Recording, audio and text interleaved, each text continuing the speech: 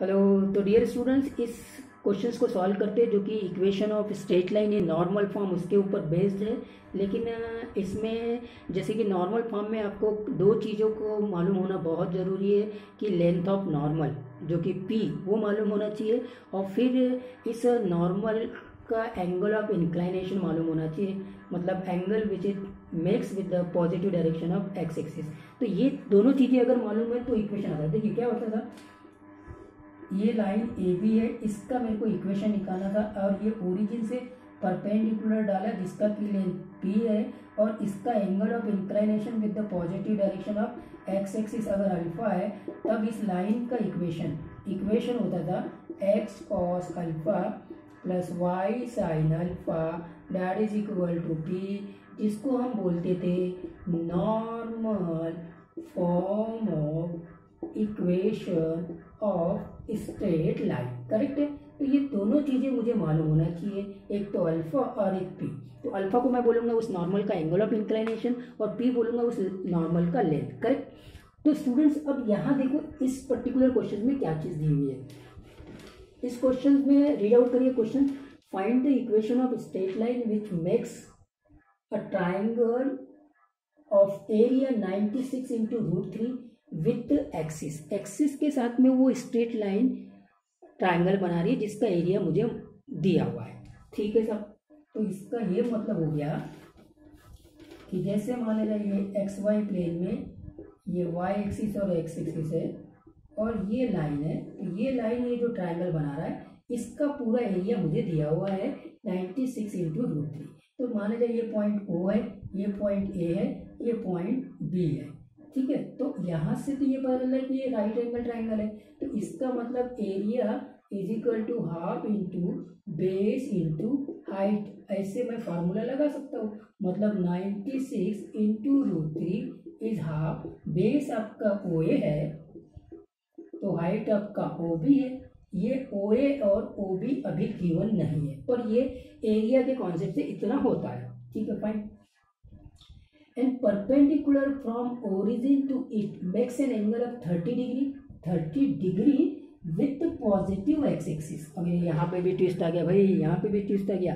Thirty degree angle तो बना रहा है, लेकिन positive direction of Y axis जब वाई एक्सिस बोल दिया तो आपको हमेशा कंसिडर कर लेना है कि this is actually for positive direction of Y axis अगर मेंशन नहीं किया तो positive direction of Y axis ही आपको एज्यूम करना है। तो positive direction of Y axis के साथ में इसका जो नॉर्मल है ठीक है? ये थर्टी डिग्री बना रहा है, इसका मतलब positive direction of X axis के साथ में सिक्सटी डिग्री बनाएगा करेक्ट है? और हमको जो इक्वेशन ऑफ़ स्ट्रेट लाइन है, उसमें तो ये सिक्सटी डिग्री को यूज़ करना पड़ता है। तो इसका मतलब जो इक्वेशन आने वाला है, ये आंसर ऐसा आएगा कि X into cos sixty degree plus Y into sine sixty degree that is equal to P cos sixty कितना होता है भैया? कॉस सिक्सटी कितना होता है? साइन थर्टी के बराबर होता है मतलब वन बाई टू और साइन सिक्सटी कितना होता है भैया?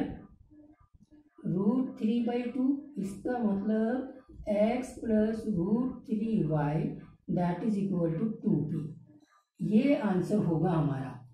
ठीक है? प्रोवाइडेड प्रोवाइडेड इस पी का वैल्यू मालूम हो जाए, क्योंकि एंगल ऑफ़ इंक्लाइनेशन अल्फ़ा मालूम है, लेकिन अभी पी यहाँ गिवन नहीं है, उस पी को डिटरमाइन कर देंगे तो आपका फाइनल आंसर आ जाएगा। तो ओवरऑल अब मेरे को इसमें पी डिटरमाइन करना है, इसलिए ये क्वेश्चन इंपॉर्टेंट हो गया। करेक्ट है? चलिए पी को डिटरमाइन करते हैं। तो पी को डिटरमाइन करने के लिए इसी कंडीशन को अप्लाई करना पड़ेगा। मतलब ये ओ ए को पी के टर्म्स में लाना पड़ेगा ओ बी को भी पी के टर्म्स में लाना पड़ेगा, वो हम ला सकते हैं। क्योंकि ये नॉर्मल है मतलब ये परपेंडिकुलर है मतलब ये नाइन्टी डिग्री है तो ये हाइपोटेन्यूज हो जाएगा। ये हाइपोटेन्यूज हो जाएगा। इस एंगल के लिए ये अपोजिट हो जाएगी। तो ये जो पी है, ये इसके लिए एडजस्टेंट साइड हो जाएगा। तो यहाँ मैं कॉस सिक्सटी लगा सकता हूँ। कॉस सिक्सटी होता है adjacent by hypotenuse okay cos sixty का वैल्यू कितना आता है बोलो? कॉस सिक्सटी का वैल्यू वन बाई टू होता है करेक्ट है?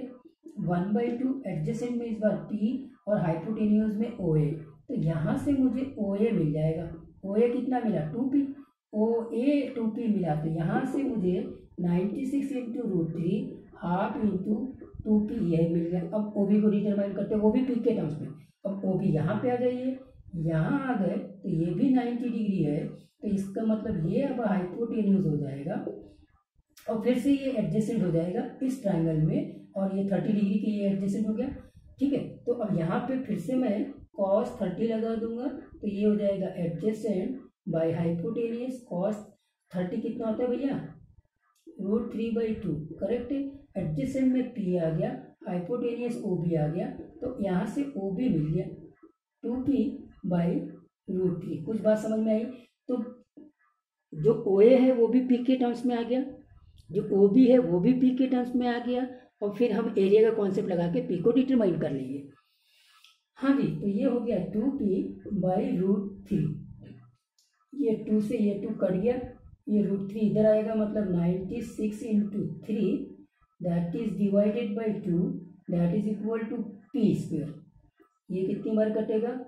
फोर एट ठीक है. Forty eight into three P square तो पी स्क्वेयर इक्वल टू अड़तालीस ओके ठीक है. तो यहाँ से मुझे पी मिल जाएगा प्लस माइनस ट्वेल्व ये कैलकुलेशन बहुत सिंपल है. तो पी मिल गया प्लस माइनस ट्वेल्व अब पी तो लेंथ है. Length of perpendicular drawn from the origin on the straight lines या लेंथ ऑफ़ नॉर्मल है तो लेंथ तो हमेशा पॉजिटिव होगा। So therefore we should consider P as twelve only ठीक है? तो पी ट्वेल्व रख लीजिए तो आंसर आ गया आपका। X plus root three Y that is equal to twelve is our answer so अब आपने देखा कि इस इक्वेशन इस इस क्वेश्चन का इंपॉर्टेंट क्या था? कि equation of straight line in normal form इसको तो यूज़ करना है, वहाँ तक के कोई इशू नहीं है।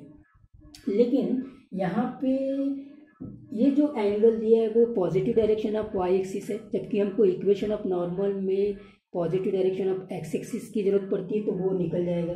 फिर इसमें equation of straight line in normal form में लेंथ ऑफ़ नॉर्मल भी मालूम होना चाहिए, पर लेंथ ऑफ़ नॉर्मल नहीं दिया हुआ, उसको भी यहाँ निकालना है। Because of that this question become important clear है?